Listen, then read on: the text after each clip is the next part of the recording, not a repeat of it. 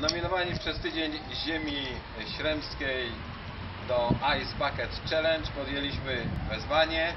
Zebraliśmy kwotę 170 zł, którą wpłaciliśmy na fundację. Natomiast y, po naszym chrzcie wodnym nominujemy trzy firmy.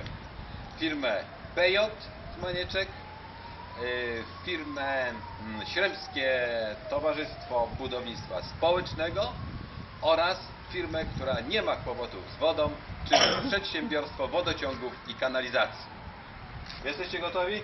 Jesteśmy! A więc Do dzieła!